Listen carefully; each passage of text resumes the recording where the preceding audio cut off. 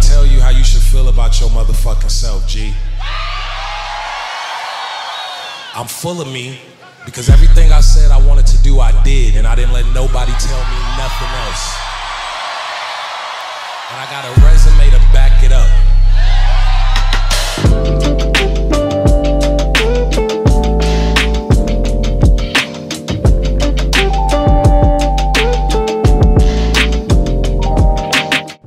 Tyler the Creator has proven to us, his millions of fans, that authenticity leads to success. He's built an empire on precisely who he is. Extrapolating the mind of the creator would be like picking flowers off a botanical garden. The point is, when it comes to Tyler, he just does not miss. So, what can we learn from Tyler? I've been watching a lot of his interviews and you know I've been following Tyler Creator for a long time. One thing that he always takes pride in is how he learned everything by himself. Take a listen to this quick interview here where he talks about how he learned how to use the keyboard by himself. Where did you learn music?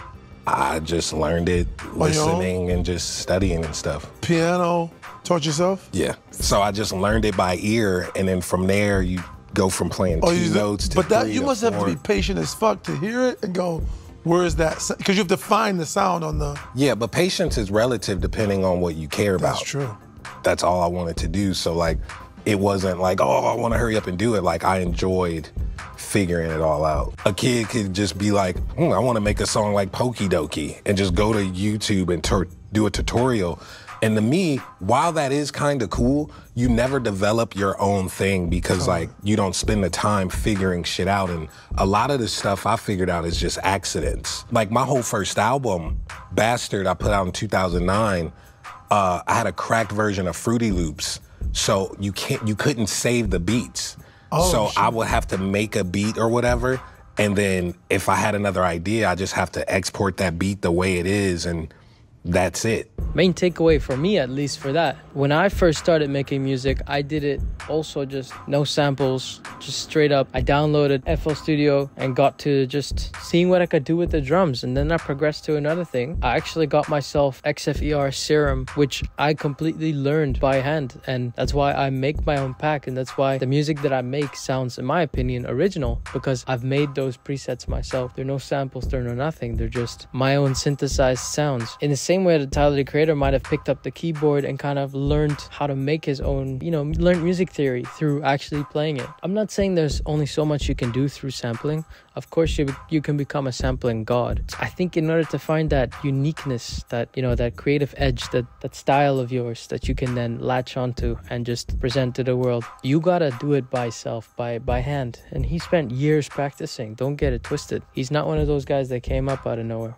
to be very honest with you making this video now is making me realize that i need to again pick up the keyboard and try to learn. I have myself a little keyboard but i'm always too lazy because i think well i can just make better music without using the keyboard. But what if i actually spent a year or two properly sitting down and learning the keyboard? Would i then have another edge? Would i then sort of have a paradigm shift in the level of my music production? And i think the answer is yes 100000% yes. I'm just avoiding i'm avoiding all the effort here because it, it is effort. You know this is the difficult part because nowadays everything is quite easy.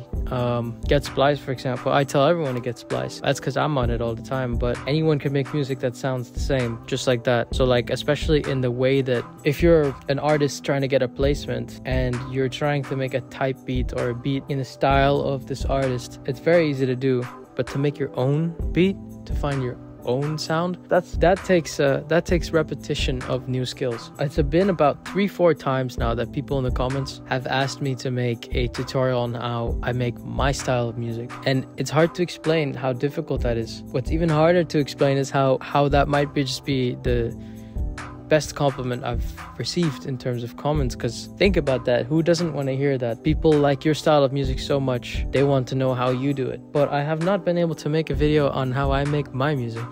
So I think if I start learning how to play the piano and really learn and relearn from myself, how do I make my music? Discover and define my own taste. Maybe I too can be a bit more like Tyler the Creator.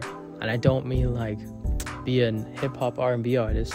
I just mean be individualistic and confident in my own style and be able to do all the things that I said I'm gonna do. Why do you make these videos on ASAP Rocky, Tyler the Creator, and all these, you know, hip hop artists? Because personally, these artists are the ones that I'm inspired by. Despite my difference in genre, I'm inspired by the success of ASAP Rocky, by the success of Tyler the Creator, and by the struggles they went through, artistic journey they went through, because they're very open about it, they're very vocal about it. There's so much content out there on their interviews and whatnot. For some reason, I sometimes feel that the EDM industry is lacking a bit of artistry. Record labels own the style of the EDM industry, whereas I feel with more with hip hop still, these big artists own their own style and record labels just want in on it. So there's more ownership of style, there's more ownership of creativity. I want to bring that into EDM, and I know it goes against that, but that's why I started a record label because we take on artists that have their own defined style. If you want to know more, we've got a Discord community. It'll be linked in the description of this video. Thank you guys so much for all the support on the channel. We are about to be monetized. That's